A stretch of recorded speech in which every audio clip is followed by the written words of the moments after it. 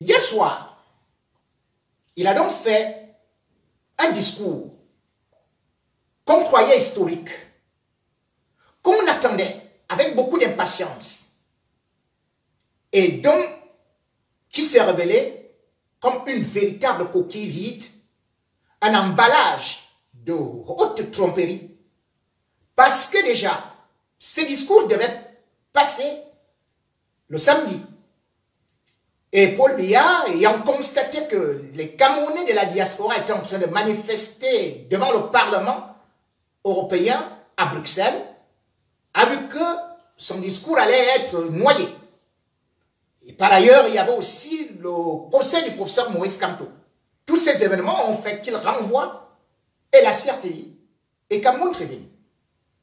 Ceux qui ont regardé la télévision hier soir ont vu le mensonge d'un père qui continue une fois de plus à nier les évidences. Premier mensonge. Le discours à la CRTV s'écrit en direct. Or, Paul Biya n'a jamais fait un discours en direct. C'est une faute professionnelle. Parce que c'est un mensonge d'État. Le discours a été enregistré. Il a été coupé, monté. Et on vient servir aux Camerounais quelque chose de réchauffé à 20 heures. Aucune télévision au monde n'a le droit de mettre sur un élément enregistré direct. Ce n'était donc pas en direct. Mais comme d'habitude, Paul Biya aime mentir avec son instrument, son tam-tam de propagande qu'on appelle la CRTV, qui nous allons fait avaler cette belle grosse pilule amère acide pour nous faire croire que c'était un discours en direct. C'était faux. Et le deuxième faux, c'était que bien évidemment, après qu'il ait été surchargé de tous ses remontants, pour qu'il puisse se tenir et vouloir montrer aux Camerounais qu'il est en bonne santé, on lui a placé un prompteur devant. C'est-à-dire que, voilà un père qui disait, parce que Paul Biya n'a pas les capacités de retenir et d'agencer cinq phrases. Je voulais dire deux phrases. C'est impossible. Donc, le prompteur est devant. On défile, il lit. C'est pas comme chez moi là. Moi, j'ai pas de prompteur. J'ai dit ce que je veux, ce que je pense, parce que cela me vient du fond du cœur. Ce que Paul Biya dit vient d'un certain magma de ramassis de mensonges colportés, agencés par ces soi-disant communicants qui d'ailleurs ne savent pas communiquer parce que ce qu'il a eu à dire, il aurait mieux fait de se taire. Je vais commencer par ce qu'il n'a pas lui aussi à dire. Et ce que nous tous et vous tous avez constaté. Première des choses, il n'a pas prononcé le nom de Maurice Camteau ni le MRC. Donc, pour Paul Biya, il n'existe pas d'opposant au Cameroun et tout ce que les Nations Unies, les États-Unis, l'Union européenne, le Parlement européen lui ont dit, à savoir qu'il faut qu'il libère le professeur Maurice Camteau, eh bien, il a fait semblant comme s'il n'existait pas. Toujours dans sa condescendance, dans son arrogance, oubliant que c'est sa déchéance. Et on a donc pu, au-delà de ça, se poser des questions. Est-ce que M. Paul Biya, qui appelle à la réconciliation, pouvait donc faire cette réconciliation? Ou plutôt, c'est dialogue, sans Maurice Camteau qui pourtant est arrivé selon les résultats donnés par les agents de BIA. Deuxième, à l'élection présidentielle. Comment on peut donc parler que Maurice Camteau est en prison? Parce que juste, Paul Biya a tout programmé. Ce que c'est Maurice Camteau, et faire un dialogue unilatéral en se parlant à lui-même et à ceux qui lui sont subordonnés. Nulle part au monde, on a vu le chef de l'opposition en prison. On a vu nulle part au monde le leader de la contestation en prison, c'est-à-dire Ayoub Tabé. Et vous dites que vous êtes venu faire tendre la main pour le dialogue. Soit vous ne savez pas ce que ça veut dire le dialogue, soit vous voulez organiser un monologue, soit vous voulez faire du théâtre. Donc en fait, l'intervention de Paul Biya était dans la logique de la mise en scène de la théâtralité de sa politique qui n'est faite que de mensonges, qui n'est faite que d'esquives, qui n'est faite que de faux semblants. Il faut se le dire.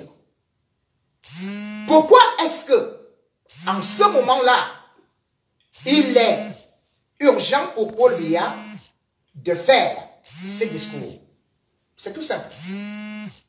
Parce que, première des choses, il faut savoir que la première fois, lorsque Paul Biya savait qu'il y aura ce qu'on appelle l'Assemblée, le Conseil de sécurité de l'ONU, qui était une réunion informelle, il avait envoyé le Premier ministre John Bouquet dans les régions du nord-ouest et sud-ouest. Il s'était baladé avec euh, des chasse-mouches en disant qu'il venait pour le dialogue. Et comme il y avait cette réunion à l'ONU, le 13, eh bien c'est ça que le représentant du gouvernement camerounais est parti de façon clownesque nous dire que il avait très bien déjeuné et il avait pris un repas copieux avec Frundi. Donc pour lui, le dialogue, après avoir pris un repas copieux avec Frundi, c'était bon. Maintenant que l'Assemblée générale de l'ONU se tient dans une semaine, pour lui, a dit, eh bien, il y a des résolutions dramatiques qui peuvent être prises contre mon régime, qui peuvent me déstabiliser, ou qui peuvent au moins montrer aux yeux du monde entier que je ne voudrais pas dialoguer. Il vient donc, il vous fabrique ces discours de briques, de bras, de bras en vrac.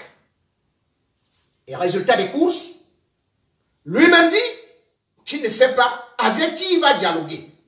Si donc le chef d'État lui-même se pose des questions, que avec qui je vais dialoguer, et qu'il a déjà la réponse, que ceux avec qui il doit dialoguer se retrouve en prison, cela veut dire que lui-même, il vient démontrer qu'il était dans la tragicomédie ou la comi-tragédie.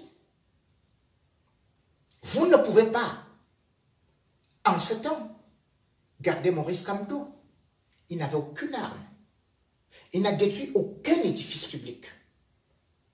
Et de ce point, il est du moment où il n'est pas condamné, comme le veut la Déclaration universelle des droits de l'homme et comme le veulent les conventions internationales et même le droit camerounais, qu'il est présumé innocent.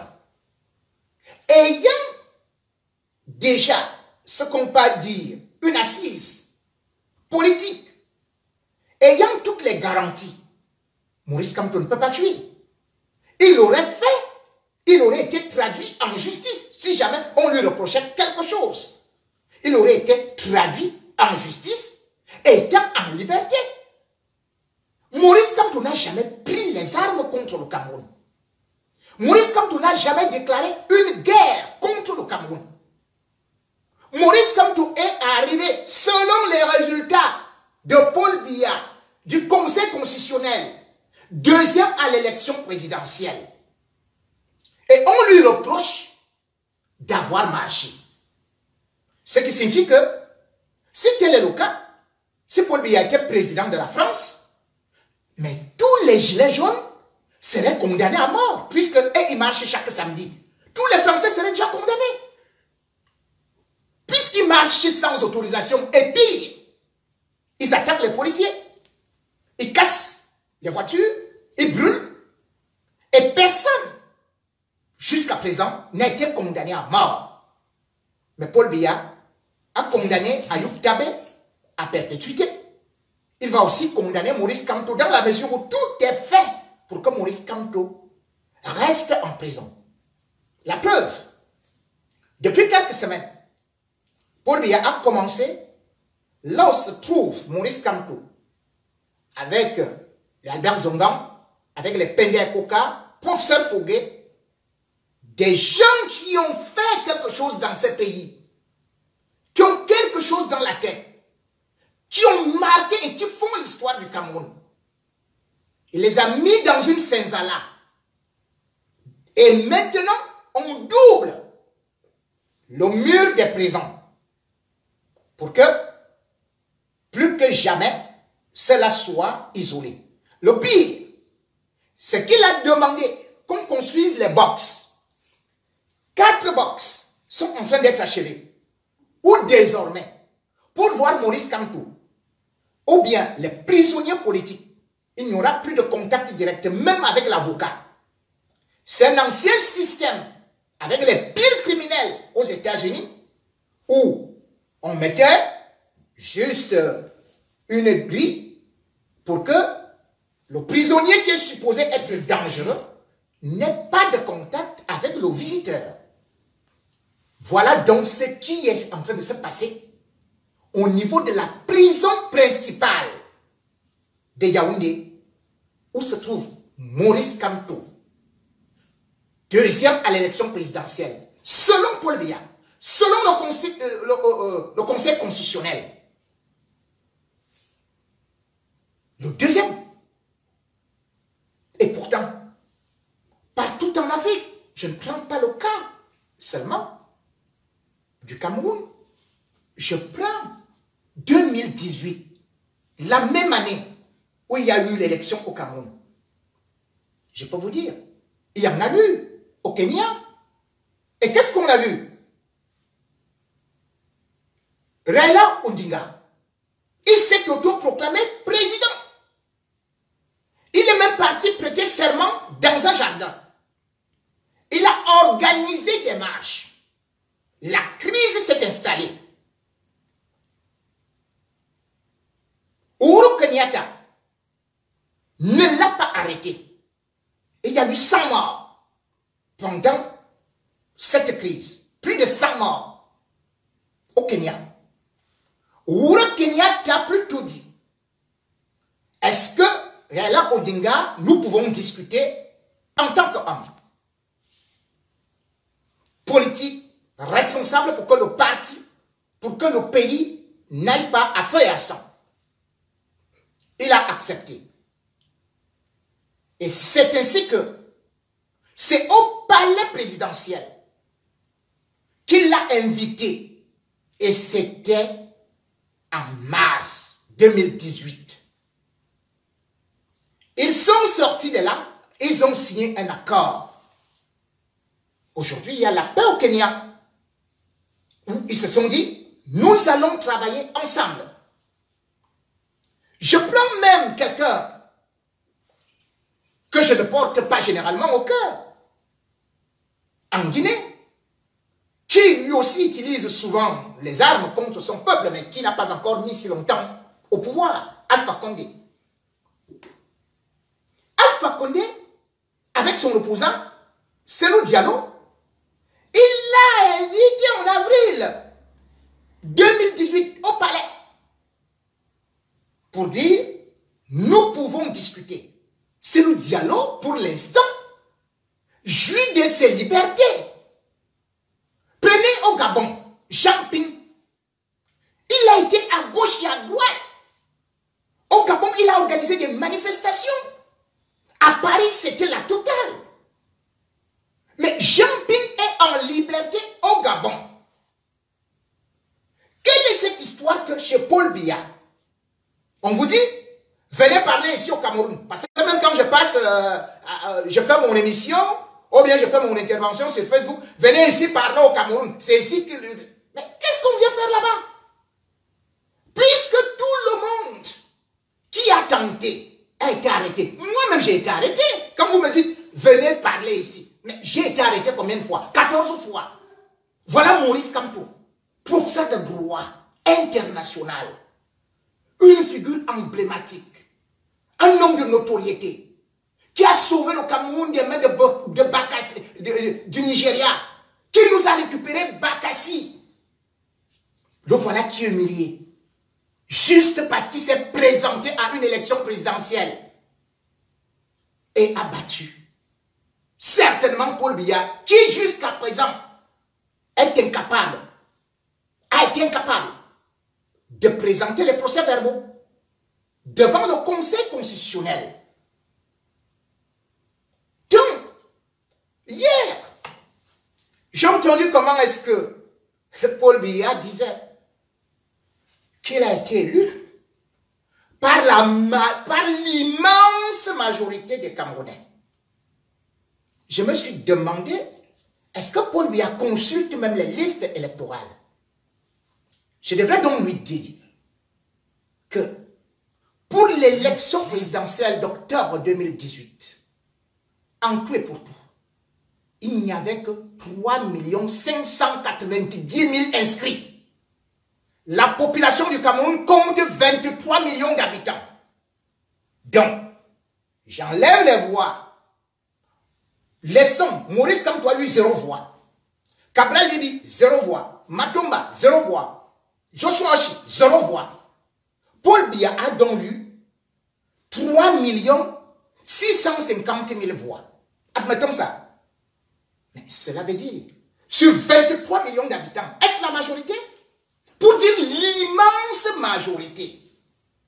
Or, il n'a même pas eu 2 millions de Camerounais qui l'ont voté, malgré le bourrage des urnes. C'est donc un président par effraction. C'est un président de l'apartheid. C'est un président d'un groupuscule. Il ne représente pas le Cameroun. Soyons-en clairs. En 2011, par exemple, est-ce que vous vous rendez compte que il y avait 7 millions 251 000 inscrits sur les listes électorales? Ça peut se comprendre. Mais en 2018, tellement les Camerounais sont déçus par l'IA qu'ils savaient qu'il est déjà habitué à la ticherie ça a été divisé par deux. Alors, il dit qu'il a été élu par l'immense majorité. C'est pour cela que il ne peut pas partir. Il doit rester au pouvoir ad vitam aeternam. Si on regarde l'immense majorité, mais Aïdjo ne serait jamais parti du pouvoir il ne serait jamais parti du pouvoir. Comment Maïdjou est parti du pouvoir? Mais il avait 99% de suffrage. J'ai dit bien 99% de suffrage. Mais le 3 novembre 1982, Ahmad Ouaïdjou revient de Paris. Il est accueilli à l'aéroport par le secrétaire général à la présidence qui s'appelait Samuel Ebois, accompagné du premier ministre que lui, il a fabriqué, Paul Biya. Et par la suite, il dit à Samuel Ebois, je vais te voir le matin. À 10h15 le lendemain, il annonce à Samuel Ebois qu'il a décidé de démissionner. Il avait 58 ans.